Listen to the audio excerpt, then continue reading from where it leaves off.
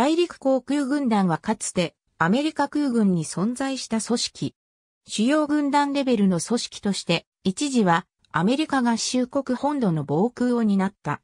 1948年12月1日に戦術航空軍団と防空軍団を統合し、主要軍団組織として設立された。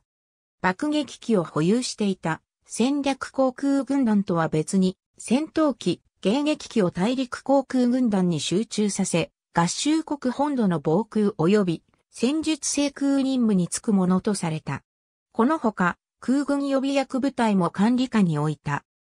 しかし、本土防空及び戦術制空の双方を担当することは合理的ではなく、1950年に朝鮮戦争が勃発し、朝鮮半島への大規模な部隊派遣の必要が生じると、戦術航空軍団と防空軍団が再設立されることとなり、コニックは本土防空及び戦術制空任務からは外された。その後は空軍予備役の輸送機部隊を管理するものとして1968年まで存続している。